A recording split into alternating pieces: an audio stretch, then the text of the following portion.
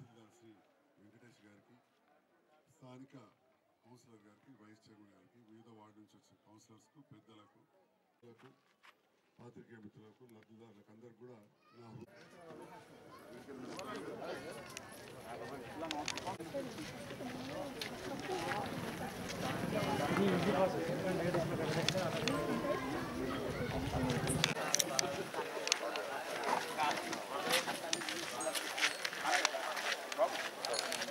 ఇక్కడికి దీన్ని కోఆర్డినేట్ చేసినటువంటి సోషల్ ఇంపాక్ట్ గ్రూప్ శ్రవణ్ గారు మరి వారి మిత్రులు.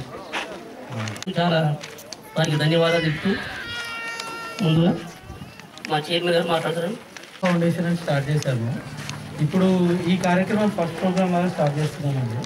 కాకపోతే మేము హైదరాబాద్లో దగ్గర దగ్గర ఒక రెండు వందల కంపెనీస్తో వర్క్ చేస్తాము. అలాగే ఒక నూట యాభై నాన్ ప్రాఫిట్ స్వచ్ఛంద సంస్థలతో వర్క్ చేస్తాము. సో అక్కడ చాలా చోట్ల చాలా ప్రోగ్రామ్స్ ఇవన్నీ చేస్తున్నాము. సో మన జగిత్యాలో చేద్దామని మా నాతో సహోద్యోగి ఆయనది ఇక్కడే జగిత్యాల అనమాట సో మన ఊర్లో కూడా చేద్దామని ఉద్దేశంలో ఇక్కడ ఫౌండేషన్ స్టార్ట్ చేశాము. సో ఎడ్యుకేషన్ పరంగా కానీ ట్రైనింగ్ ప్రోగ్రామ్స్ ప్రొవైడ్ చేసి యువతకి ఉపాధి కల్పించడాలు ఇలాంటి ప్రోగ్రామ్స్ అన్నీ చాలా చేద్దాం అనుకుంటున్నాం ముందు ముందు. సో ఇప్పుడు స్టార్టింగ్ లాగా ఈ కోవిడ్ పరంగా నిర్వాసితులైన వాళ్ళకి చాలా మందికి ఉపాధి లేని వాళ్ళకి వీళ్ళందరికీ ఈ నిత్యావసర సరుకులు పంపిణీ చేసి దీంతో స్టార్ట్ చేసామన్నమాట ఇంకా ముందు ముందు చాలా చేద్దాం అనుకుంటున్నాను సార్ మీ సపోర్ట్తో థ్యాంక్ యూ దాతలు పెద్దలు శ్రవణ్ గారు ఏర్పరిచిన జనగాం ఫౌండేషన్ ద్వారా ఒక సుమారు వంద మంది నిరుపేదలకి నిత్యావసర సరుకులు అందజేయడం జరుగుతుంది. ఈ కార్యక్రమానికి విచ్చేసినటువంటి త- మన జగిత్యాల నియోజకవర్గ శాసనసభ్యులు డాక్టర్ సంజయ్ అన్న గారికి మరియు మన జగిత్యాల జిల్లా అడిషనల్ కలెక్టర్ గారు శ్రీ రాజేశం గారికి మల్లవ తిరుమలయ్య గారికి అలాగే విచ్చేసినటువంటి తహసీల్దార్ గారికి మరియు జగిత్యాల ఎంపీపీ గారికి అలాగే మా వైస్ చైర్పర్సన్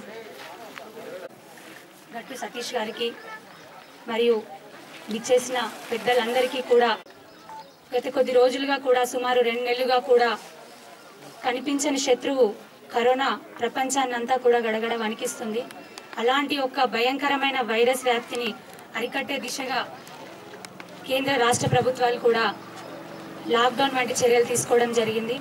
అలాగే మన గౌరవ ముఖ్యమంత్రి వర్యులు కల్వకుంట్ల చంద్రశేఖర్ రావు గారు కూడా ఒకవైపు లాక్డౌన్ని పటిష్టంగా అమలు చేస్తూనే వైరస్ వ్యాప్తిని అరికట్టే దిశగా మరియు లాక్డౌన్ పరిస్థితుల వల్ల రెక్కాడితే కానీ డొక్కాడని కుటుంబాలు ఎన్నో కూడా తమ జీవనోపాధిని కోల్పోవడం జరిగింది. వారికి ఆర్థిక సాయం అందజేస్తూ వైట్ రేషన్ కార్డు ఉన్న వాళ్ళకి పన్నెండు కేజీల బియ్యం నెలకి మరియు పదిహేను వందల రూపాయలు అందజేయడం జరిగింది. అలాగే వైట్ రేషన్ లేని వాళ్ళకు కూడా పన్నెండు కేజీల బియ్యం కొంత ఆర్థిక సాయం కూడా అందజేయడం జరిగింది. అలాగే తహసీల్దార్ వాళ్ళు శాఖ ద్వారా రెవెన్యూ శాఖ ద్వారా ఎక్కడికక్కడ కూడా మన జగిత్యాల పట్టణంలో కూడా మన గౌరవ శాసనసభ్యులు మరియు కలెక్టర్ గారు అడిషనల్ కలెక్టర్ గారి ఆధ్వర్యంలో కూడా ఎంతో మంది వలస కూలీలకు నిరుపేదలకి కూడా నిత్యావసర సరుకులు ఆర్థిక సాయం అందజేయడం జరిగింది. ఈరోజు కూడా ఇక్కడ మన పట్టణంలోని ఎనిమిదవ వార్డులో పెద్దలు శ్రవణ్ గారు జనగాం ఫౌండేషన్ని మన జగిత్యాల్లో స్థాపించి కొత్తగా స్థాపించడం జరిగింది. ఆ ఫౌండేషన్ ద్వారా కొంతమంది దాతల సహాయంతో స్వచ్ఛందంగా ముందుకొచ్చి ఈరోజు వైట్ రేషన్ కార్డులు నిరుపేదలకి వంద మందికి నిత్యావసర సరుకులు బియ్యం పప్పు అలాగే నూనె వంట సామాన్లు కూడా అందజేయడం జరుగుతుంది మన సంజయ్ అన్న గారి ఆధ్వర్యంలో అలాగే అడిషనల్ కలెక్టర్ గారి ఆధ్వర్యంలో. ఈ రోజున ప్రజలందరూ కూడా ఒకటే విషయం గుర్తుపెట్టుకోవాలి. మన డిస్టిక్లో మొన్నటి వరకు కూడా కేసులు లేవు. కొంత ముంబై నుండి వచ్చిన వలస కార్మికుల ద్వారా కొంతవరకు కేసులు నమోదయ్యాయి. అది కూడా మన ప్రభుత్వ ప్రజా ప్రతినిధులు కానివ్వండి మన సంజయ్ అన్న గారు కానివ్వండి ప్రతి వార్డుకి కూడా తిరుగుతూ కరోనా లాక్డౌన్ స్టార్ట్ అయినప్పటి నుంచి ప్రతి వార్డులో కూడా ఎప్పటికప్పుడు అవగాహన కల్పిస్తున్నారు ప్రజలందరికీ. అలాగే కలెక్టర్ గారు కానివ్వండి అడిషనల్ కలెక్టర్ గారు కానివ్వండి ఎప్పటికప్పుడు కూడా ప్రజల్ని వివిధ శాఖలని కూడా జాగృతం చేస్తూ దిశానిర్దేశం చేస్తున్నారు. తహసీల్దార్ గారు రెవెన్యూ శాఖ అలాగే police department medical staff paramedical staff municipal staff అలాగే శానిటేషన్ సిబ్బంది కూడా ఎప్పటికప్పుడు తమ కర్తవ్యాన్ని నిర్వర్తిస్తూ చక్కగా భద్రత కల్పించారు. ఈరోజు మన జగిత్యాల చాలా సేఫ్గా ఉంది. అంతెందుకు? దేశం అంతటా కూడా మన రాష్ట్రం వైపు ఈరోజు చూస్తుందంటే దానికి కారణం మన లాక్డౌన్ని కూడా పటిష్టంగా నిర్వహించడం. ఎక్కడికక్కడ ప్రజలు ఏ ఒక్కరు కూడా ఆకలితో అలమటించకుండా ఎక్కడికక్కడ ఆర్థిక సాయం కానివ్వండి భోజన వస- వసతులు కానివ్వండి మన రాష్ట్ర ప్రభుత్వం వారికి కల్పించింది. అలాగే చాలామంది దాతలు కూడా తమ దాతృత్వాన్ని నిరూపిస్తూ స్వచ్ఛందంగా ముందుకొచ్చి నిరుపేదలకి వలస కూలీలకి ఎక్కడికక్కడ వివిధ వార్డులలో కానివ్వండి వివిధ ప్రాంతాలలో కానివ్వండి రాష్ట్రమంతటా కూడా సహాయాన్ని అందించారు. వారందరికీ కూడా ధన్యవాదాలు. మరి ధన్యవాదాలు. మరి ముఖ్యంగా ఈ రోజున జనగాం ఫౌండేషన్ని స్థాపించ స్థాపించారు శ్రవణ్ గారు. చాలా మంచి ఆలోచన. అలాగే ఈరోజు కూడా మా పట్టణంలోని నిరుపేదలకి నిత్యావసర సరుకులు అందజేస్తున్నారు. ప్రజలందరి తరఫున కూడా మరొకసారి మీకు ధన్యవాదాలు తెలియజేస్తున్నాను. థ్యాంక్ యూ శ్రవణ్ గారు. అలాగే ఇప్పటి వరకు కూడా చాలా మంది దాతలు స్వచ్ఛందంగా ముందుకొచ్చారు. వారందరికీ కూడా మరొక్కసారి హృదయపూర్వక ధన్యవాదాలు తెలియజేస్తూ మెడికల్ స్టాఫ్కి కానివ్వండి పారామెడికల్ స్టాఫ్కి కానివ్వండి అలాగే పోలీస్ శాఖకి పారిశుద్ధ్య కార్మికులకి ప్రతి ఒక్కరికి కూడా పేరు పేరున కూడా చేతులెత్తి నమస్కరిస్తూ ధన్యవాదాలు తెలియజేస్తున్నాను. వారి కర్తవ్యాన్ని ఇంత మంచిగా నిర్వర్తించి మనందరినీ కూడా ఇంత సేఫ్గా ఉంచుతున్నందుకు. అలాగే జై తెలంగాణ. జై.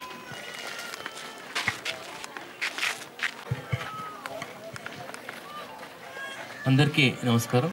మరి ఇక్కడికి ఇచ్చేసినటువంటి ఆ, మున్సిపల్ చైర్పర్సన్ శ్రావణి గారు మరి మన జనగామ ఫౌ- ఫౌండేషన్ తరఫున వచ్చినటువంటి నరసయ్య గారు మరియు ఇక్కడికి దీన్ని కోఆర్డినేట్ చేసినటువంటి సోషల్ ఇంపాక్ట్ గ్రూప్ శ్రవణ్ గారు. అందరికీ నమస్కారం. ఇతర పట్టణ ప్రముఖులందరికీ కూడా నాకు నమస్కారం.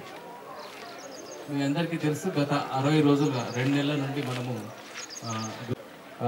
బ్రతుకులు ఎవరైతే ఉన్నాయో వాళ్ళంటే మామూలుగా పని చేసుకుంటే కానీ మనకు రోజు పని చేసుకుంటే కానీ రాత్రికి భోజనం దొరికినటువంటి కుటుంబ ఎన్నో ఉన్నాయి. మరి వాటన్నిటికీ మరి చేయుతనిద్దామనేటువంటి ఉద్దేశంతో మరి హైదరాబాద్ నుండి మనకు ఈ కోఆర్డినేట్ చేస్తూ ఈ జనగా ఫౌండేషన్ ద్వారా మీకు కొంత వెసులుబాటు కల్పించాలనేటువంటి కొంత ఆహార పదార్థాలు తర్వాత వంట సామాగ్రి ఇవ్వాలనేటువంటి ఉద్దేశంతో వాళ్ళు ముందుకు వచ్చినందుకు వారందరినీ కూడా నేను మనస్పూర్వకంగా అభినందిస్తూ ఉన్నాను. మరి పరిస్థితులు అనేటువంటి నిజంగా కూడా చాలా దయనీయంగా ఉన్నాయి. మరి ఈ రోజు నుండి మళ్ళీ ఫస్ట్ తర్వాత కొంత మనకు వెసులుబాటు అనేటువంటి వచ్చేటువంటి అవకాశం ఉంది కాబట్టి ఏదో చేదోడు వాదోడుగా ఉండాలనేటువంటిది ఈ కొంత ప్రయత్నం అనేటువంటిది వారు చేస్తున్నందుకు ప్రభుత్వం ఎంతో కృషి చేస్తూ ఉంది. బీదవాళ్ళ గురించి మనకు ఉచితంగా బియ్యం అనేటువంటిది పన్నెండు కిలోల బియ్యం ఇస్తూ ఉంది. తర్వాత పదిహేను వందల రూపాయలకు ఒక కార్డుకి ఇస్తూ ఉంది.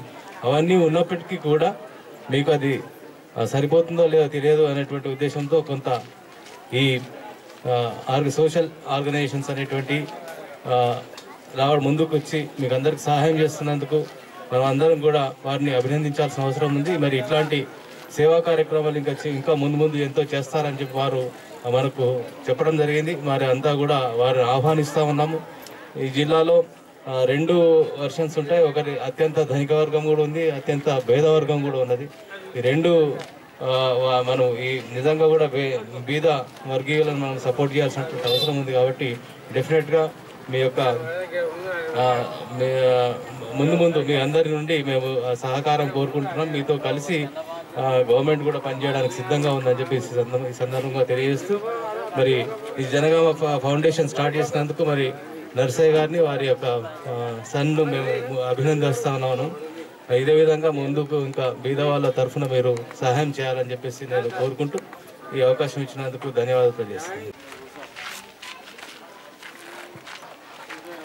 జగిత్యాల పట్టణం మరియు చుట్టుపక్కల ఉన్న బీద ప్రజలకు ఈ కరోనా నేపథ్యంలో కొంత సహాయం చేయాలని భావి రెండు నెలలుగా దాదాపు మార్చి పదహారవ తేదీ నుంచి కూడా తెలంగాణ రాష్ట్రం మొత్తం కూడా అప్రమత్త అవుతూ ఇరవయో తేదీ నుంచి ఏదైతే లాక్డౌన్ ప్రకటించిందో ఆ తర్వాత కొంత కూలీలకు దినసరి కూలీలకు చాలా ఇబ్బంది.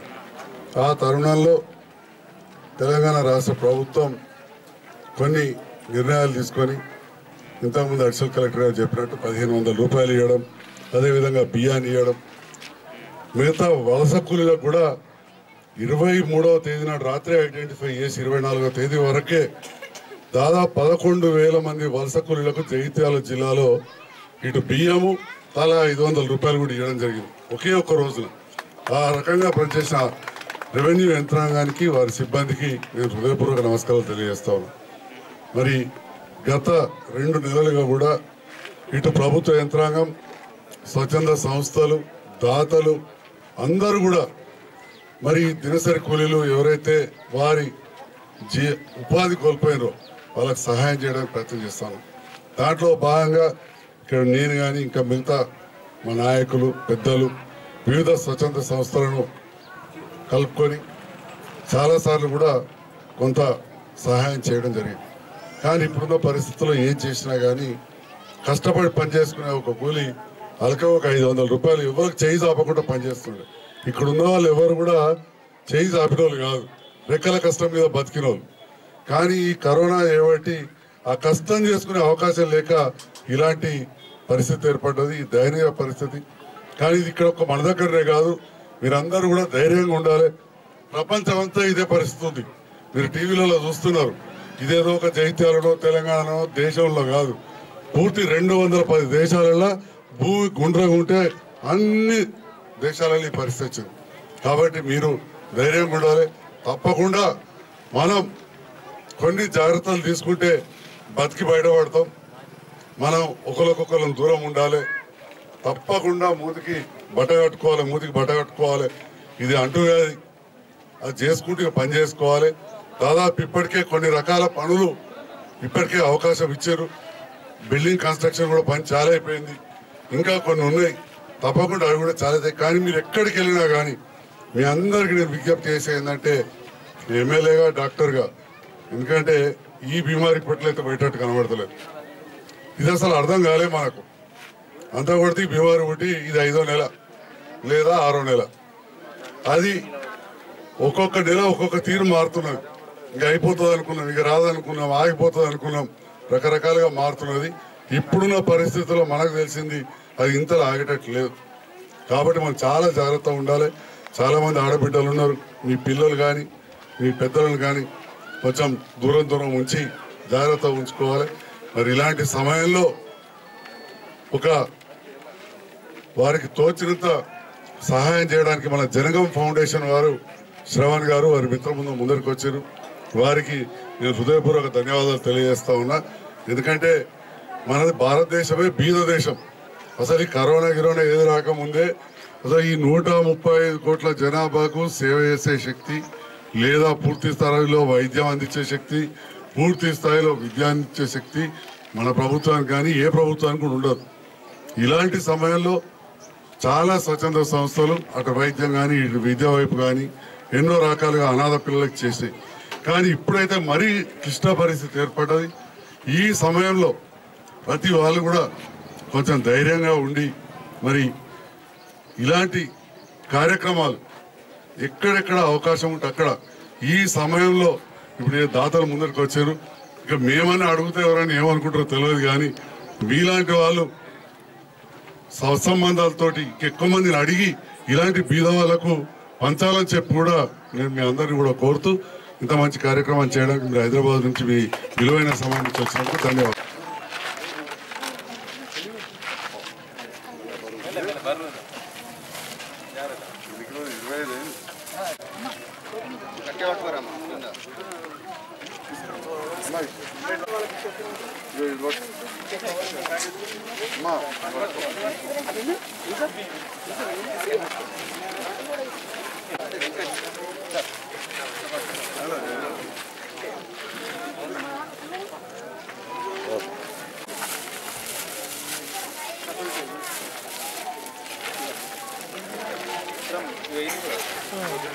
まあこれも。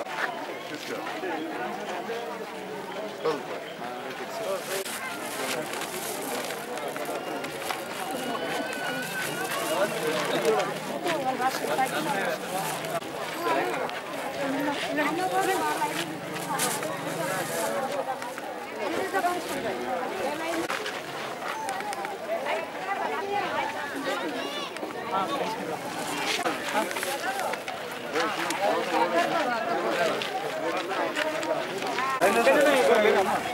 अर्डजोड